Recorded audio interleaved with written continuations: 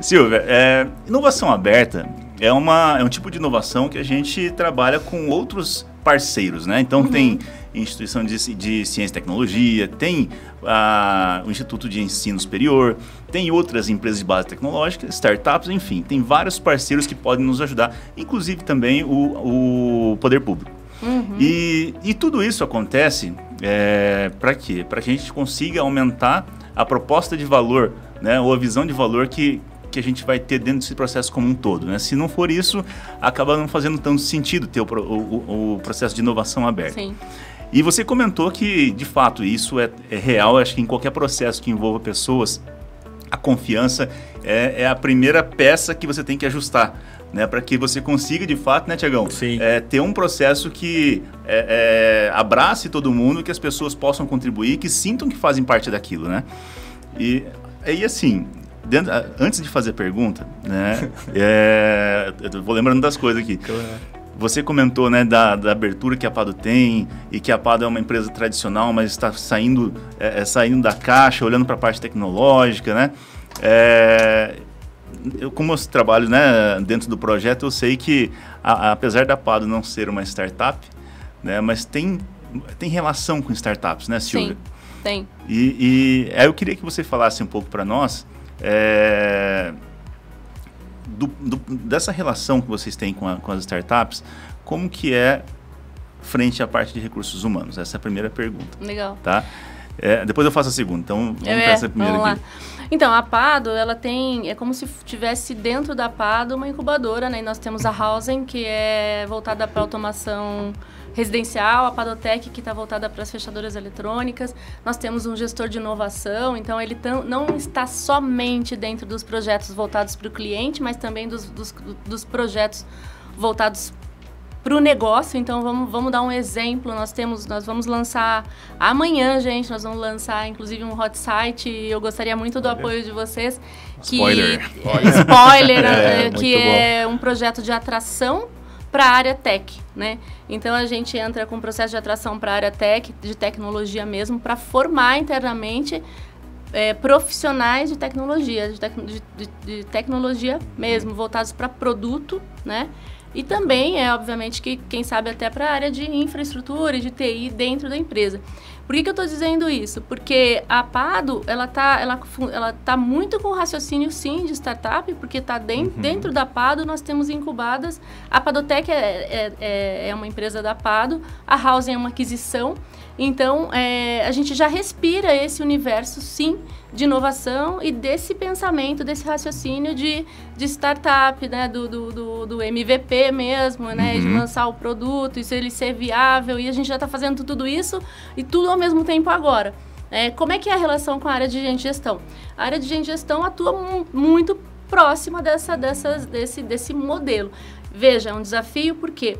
Porque dentro da Padotec da Housing nós temos puro um, um, um, perfil puramente técnico, uhum. né? E aí a gente, óbvio que tem que ter um olhar diferente para esse público. Não é de privilégios, tá?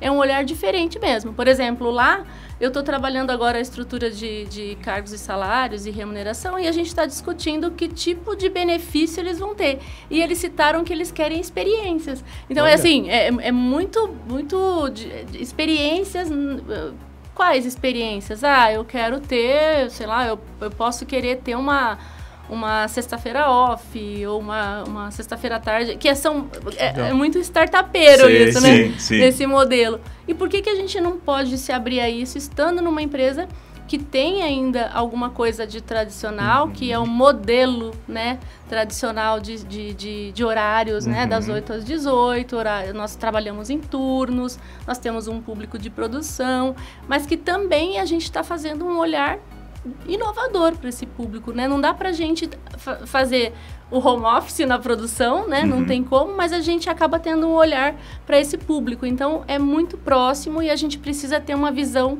total né, do negócio para poder, Legal. então, é, propor ações E só o fato de ter a Padotec lá, o resto das, das pessoas, ou, os outros colaboradores já se animam em, em conhecer, eles já ouvem falar, isso já vai é, é, entrando na, na, empresa, né, né, Silvia? Sim, a gente acaba também, é, é aquilo que eu falei da cultura ser percebida, né? Uhum, as uhum. atitudes e as ações que a gente implementa dentro do negócio, elas acabam falando muito mais alto que o discurso é, que a gente acaba fazendo, entendeu? Sim. Então, essas ações que estão sendo é, não, não é divulgada, assim, porque está que tá acontecendo organicamente, o negócio ele realmente está sendo é, pensado nesse sentido, isso acaba ainda nem tanto, né? A gente está num processo, mas com certeza é, cria sim condições hum, né, de sim. a gente estabelecer essas, essas relações de confiança, Legal. entendendo que esse processo tem um propósito muito, muito bacana, assim, um propósito realmente verdadeiro de, de, de mudança de cultura e dessa questão da inovação aberta, né? Inclusive, no primeiro Ideaton, a gente fez o convite para todos os colaboradores, né? Uhum. E foi um sucesso. Você participou e a gente Sim. teve lá 53 Três. Ideias. Isso. E, e, cinco premiadas, né? Não, foi um espetáculo, Dez, foi um estouro. Foi um estouro, assim. Uhum. E, e, e, assim, teve ideias que estavam ali na nossa frente e a gente acabava, né, muitas vezes, não consegue não vê, né? enxergar. Né? É. Então, isso tudo fala dentro uhum. da, do universo de uma organização, né? E com pessoas da fábrica, né? Com pessoas da fábrica. Porque às vezes da fábrica. Porque às vezes assim, eu falei isso, Silvia, porque muitas vezes as pessoas pensam assim, poxa, mas é, inovação aberta vai ser só aquela, aquele pessoal das startups, do desenvolvimento. Não, né? Não. É, é a empresa inteira, né? A empresa inteira está envolvida e a gente pensa em envolver cada vez mais, né? Uh, todos, porque o que, que acontece também nesse processo de inovação? A gente acaba fazendo um pré-julgamento de quem Sim. vai se interessar por isso. Ah, são as pessoas tech, uhum. são as pessoas que vêm de um universo de startup. E não. A gente, hoje, né, o cenário que a gente vive de mercado, né, até a pandemia acelerou um pouco esses processos aí de, é, de um raciocínio muito mais aberto com relação a trabalhar as pessoas, Sim. né? Então, a gente participa hoje de, de é, eventos de RH que são startupeiros mesmo, né? Porque a gente tem, vem, tem uma geração que está vindo que requer muito essa mudança de olhar, né? Que não, a gente não vai fazer, porque nós trabalhamos dentro da empresa com o conceito de atrai, desenvolve e retém, o tripé Sim. da área de gestão. Então, a gente atrai bons profissionais, né? É, uhum. é, profissionais é, engajados, a gente cria esse engajamento, obviamente, mas pessoas que admiram a Pado, a gente vai buscar cada vez mais no mercado e a gente vai também criar, buscar cada vez mais criar isso, né, de, de a Pado ser uma empresa cada vez já é uma marca fortíssima, né? Com certeza. É, mas de ser cada vez mais admirada no mercado e aí as pessoas vão querer trabalhar Sim. na Pado, então esse é o processo, é o grande desafio, né? Uhum. Aí entrando na Pado, a gente cria uma trilha mesmo de desenvolvimento dessas pessoas que elas percebam que ali elas podem sim criar uma, é, ter uma carreira, trilha de conhecimento, aprendizagem. E essa, esse fator de retenção, a gente tem que estar tá muito aberto a isso, ao que está hoje retendo os profissionais, né? Então, assim, é, será que só, não que são, não seja importante, os benefícios clássicos, né?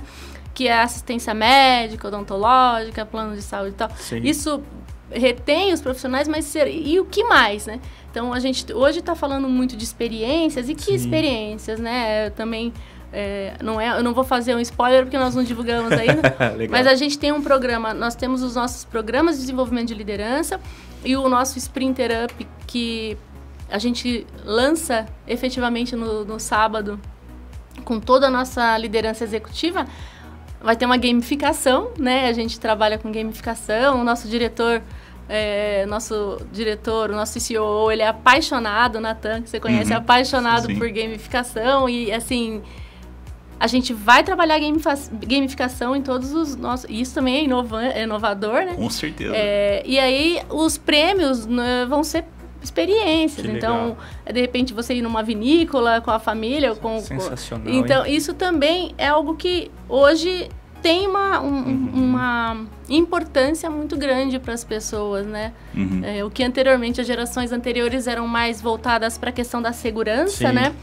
É, hoje as pessoas querem experiências, elas querem, além do trabalho, elas terem experiências, né? Então gostam de praticar esportes, né? Gostam de ter o, o seu horário livre. Então isso tudo acaba também fazendo com que a gente faça esse movimento de olhar o negócio de forma diferente, né? Então, para mim, a área é muito bom. É uma delícia a gente poder fazer esse movimento aí de, de mudança de cultura da própria área de, de, de RH, né? Uhum. Mudar o mindset. Sensacional.